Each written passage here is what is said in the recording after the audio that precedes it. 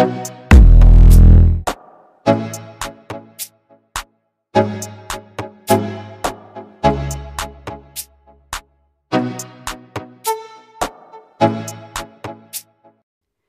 will hear a woman phoning about the shared house she is going to move into. First, you have some time to look at questions 1 to 7.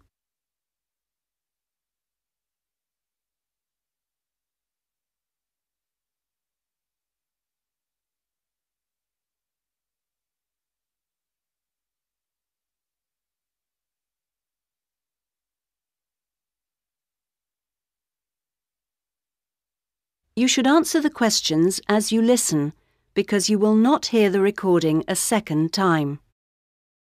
Listen carefully to the first part of the conversation and answer questions 1 to 7. Hello? Hello, this is Hilary. I'm calling about the house. I'm moving in next week. Oh, yes, Hilary. This is Judith. I met you when you came to look at the house. Yes, I just had a few more questions I wanted to ask. Of course. Well, first, about the rent. I realise I didn't check what it included. Yes, that's important. It includes most things. We don't have to pay extra for heating, for example, just for the telephone, which is fair enough, I suppose. Local taxes are part of the rent, so that's not a worry. That's fine. Then I remember I should have sent my letter of reference to the landlord by now, but I haven't got his address. Yes, you should get that off right away. Address it to Mr. Crawley. He's at 14 King Street. Is that in Exford? Yes. And then you'll need to put the postcode, of course. It's AP12 Mm-hmm. 7QT. Got that. Thanks. I also realise I don't know exactly what the house has in the way of equipment. Is there a microwave, for example? There isn't. None of us feels the need. Oh, fine. I'm sure I can do without one too. What about a hairdryer? Maybe you should bring one, if you need one. I'll buy one, yes. And TV? Oh, yes. We've got two, in fact. Was there anything else? I just wondered if there were any rules. Not really. We share the cleaning, things like that. We do have to be careful about loud music. Yes. So we've agreed that there shouldn't be any loud music after nine, and that we don't play music at all in the living room after ten. Up to eleven in your own room's okay, as long as it's not too noisy. That sounds good. And is there somewhere safe I can keep my bike? That's difficult. To be honest, lots do get stolen round here. We haven't got a garage, so we tend to park ours in the garden so that they're hidden from the street. OK. Now, I hope you like cooking. Yes, I do. Do you all have shared meals? Not very often, actually, but when the weather's good in the summer, we like to have a barbecue together, which we do each Wednesday. We tend to go out at weekends. Sounds fun. Before you hear the rest of the conversation, you have some time to look at questions 8 to 10.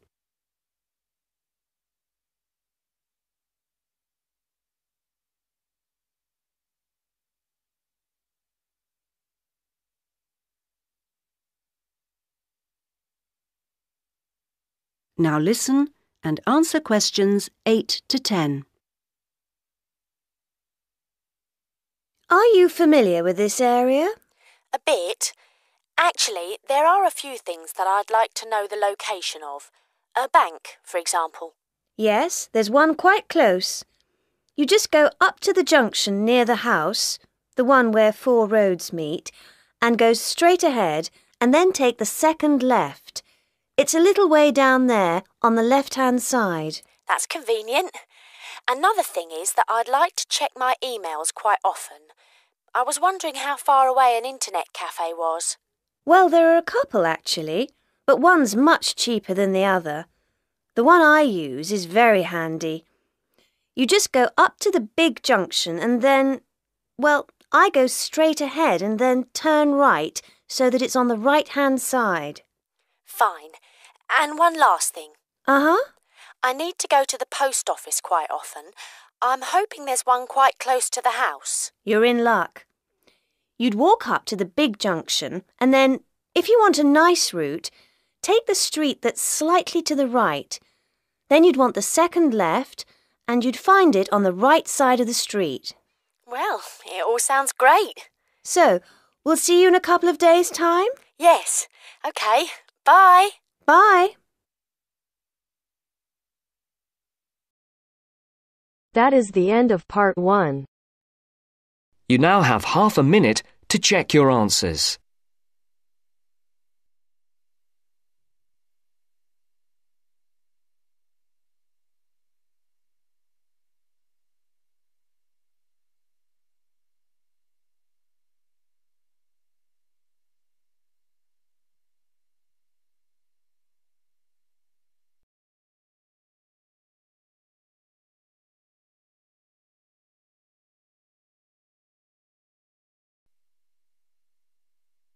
Now turns to part two.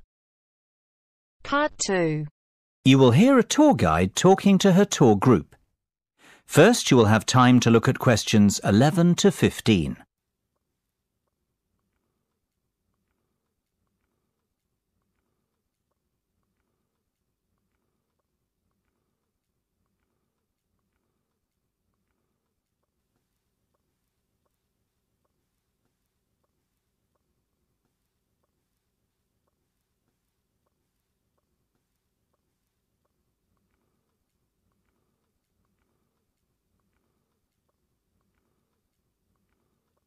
Now listen carefully and answer questions 11 to 15.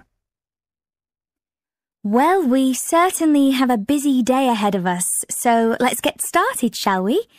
You'll find a map of the museum with the itinerary I've just handed out. The museum's our first port of call, so uh, let's have a look at the map now. The door on the right of the entrance hall leads into the gift shop and ticket centre. Once we pick up our entrance tickets, I'd ask everyone to deposit their bags and coats in the cloakroom, which is located towards the back of the gift shop and ticket centre. If you want to pick up an information leaflet, you can approach the information desk situated along the right-hand side. Now, once you come back into the entrance hall, the door on the opposite side to the gift shop leads into the art gallery. There is a special exhibition on there at the moment which is not to be missed. If you continue on up the entrance hallway, that leads into the main exhibition centre. At the back left-hand side, there are some toilets. Beside the toilets, you'll find the 3D theatre. I strongly recommend that you make time for the 30-minute presentation in the theatre. It is well worth a viewing. Running along the right-hand side of the main exhibition centre is the Modern Art Studio. Here, not only can you view some of the most famous works of the 20th century, but you can also sit in on a workshop run by a local artist. So, that's the Art Museum. Before you hear the rest of the discussion, you have some time to look at questions 16 to 20.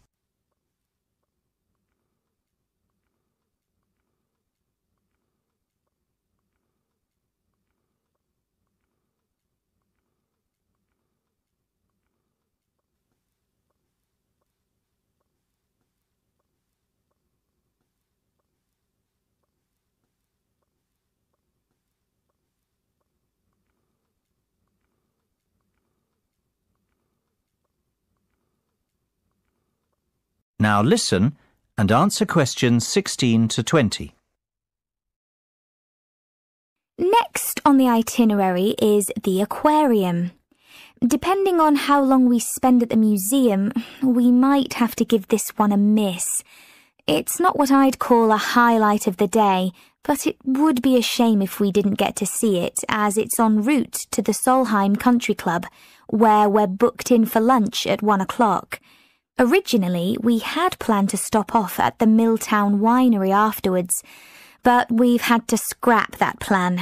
Otherwise, we'd never get to the zoological gardens before closing time. We have pre-booked the gardens and must be there by 2.30. So, no dilly-dallying please after lunch. Straight back onto the bus. The gardens close at 3.30, so we've an hour there which should give us ample time to look around. Time allowing, we'll stop off at the famous Stout Brewery after that, if traffic isn't too heavy, and we're in Lincoln before five. If not, we'll head straight for the National Concert Hall, where you're in for a real treat of an evening with a performance from the world-renowned cellist Andrei Borovsky. We have to be in our seats by 6.30 sharp. After that, it's back to the hotel for the night where a buffet meal will be waiting for us at half eight, or whenever we get back.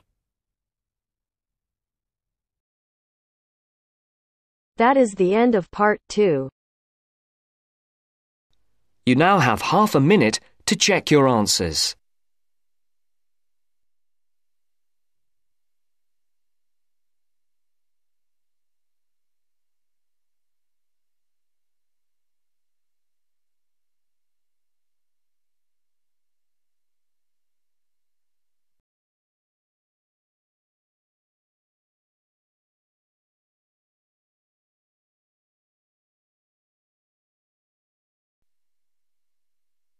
Now turns to part three.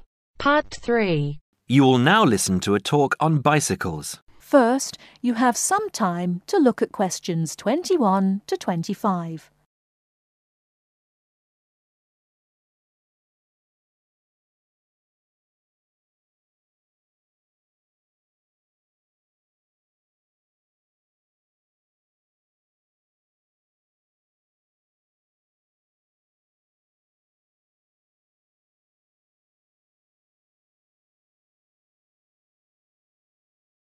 Now, listen carefully and answer questions 21 to 25.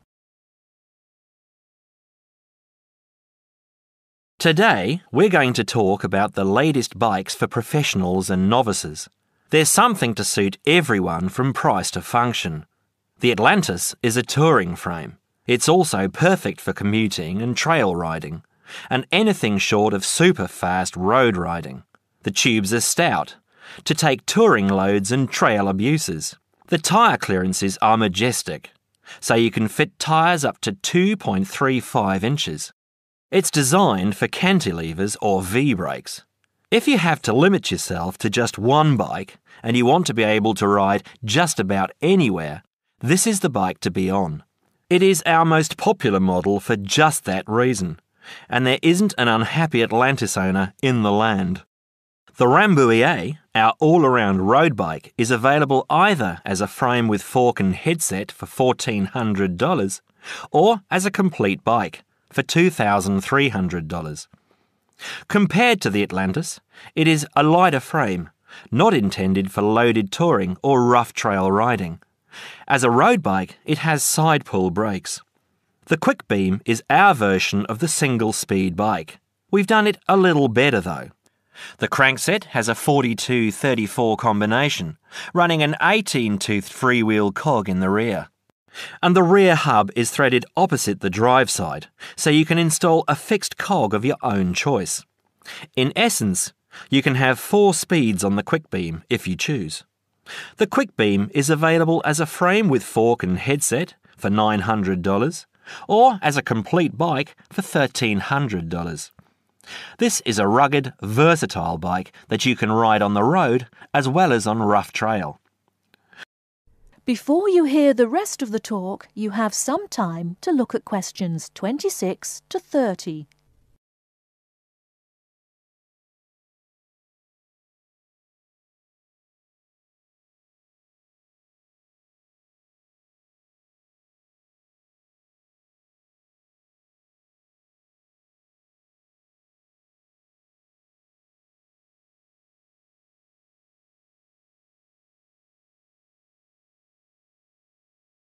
Now listen and answer questions 26 to 30. The Saluki is our roadish, light touring, randonneuring frame. It's designed for 650B wheels. If 650B means anything to you, you'll either love it or think it's marketing suicide. If you're new to 650B and a follower, you won't want it. If you're new and a rebel, you will. Now, I'll just talk a little about saddle comfort. The road bike, for the most part, has turned into a high tech, uncomfortable machine, and the proof is all around us. Look through any bike magazine or catalogue, and you'll see the saddle up to six inches higher than the handlebars. It is impossible to be comfortable on such a bike. It forces you to lean forward, putting more weight on your groin, hands, and arms. People ride these bikes with straight, locked out arms and wake up with aching backs. They endure it, get used to it, or buy recumbents. When we custom design a bike for you, you'll be able to get a comfortable position. Your back will be between 45 and 50 degrees, and there will be a noticeable bend in the arms. And most importantly, your arms won't be supporting your body weight. You won't have to look up to look ahead, because you won't be hunched over and low. That means our bikes are more accessible for riding on the flats, or even for short climbs. We consider this when we design and build your custom frame. That is the end of part 3. You now have half a minute to check your answers.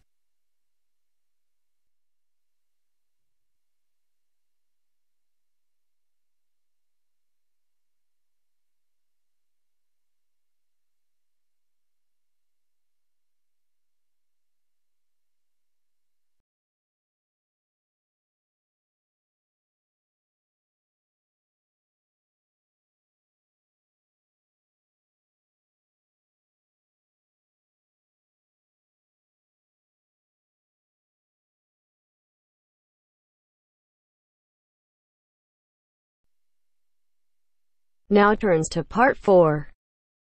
Part 4. You will hear a part of a lecture about learning and bilingualism. First, you have some time to look at questions 31 to 40 on pages 44 and 45.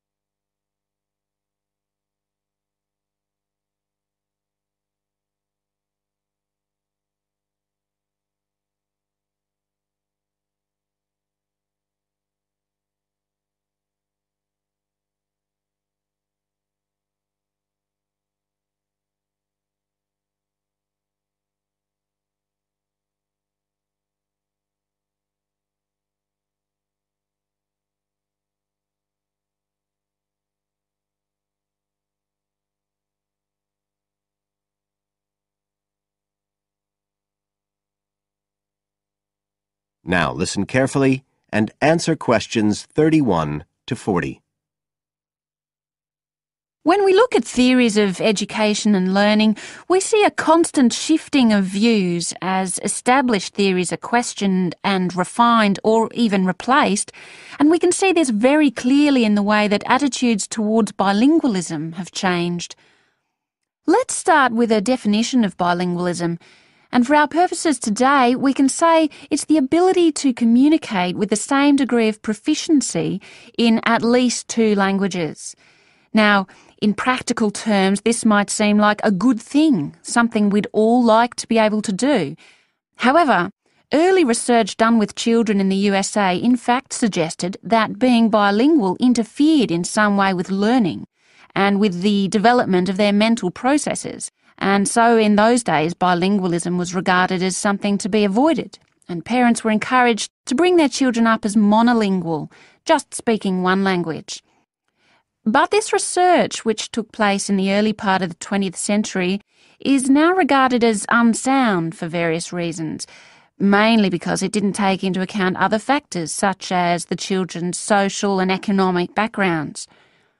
Now, in our last lecture, we were looking at some of the research that's been done into the way children learn, into their cognitive development, and in fact, we believe now that the relationship between bilingualism and cognitive development is actually a positive one. It turns out that cognitive skills such as problem solving, which don't seem at first glance to have anything to do with how many languages you speak, are better among bilingual children than monolingual ones.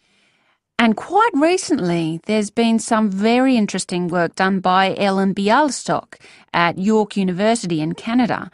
She's been doing various studies on the effects of bilingualism, and her findings provide some evidence that they might apply to adults as well. They're not just restricted to children.